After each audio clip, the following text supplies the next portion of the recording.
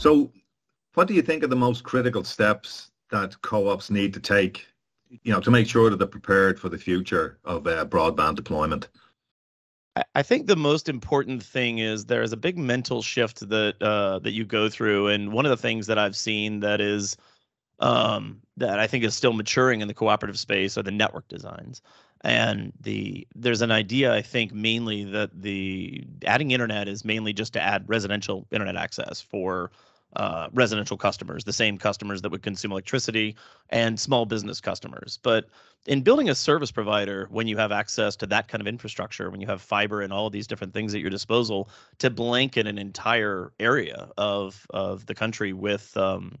with connectivity and access, it, it's helpful to think of it more like an asset and a service provider that can be used to deliver whatever kind of service you might be asked to deliver. When we build uh, ISPs that are that are not electric cooperatives that are from the ground up, um, usually they're looking at this like an asset because they want to be able to deliver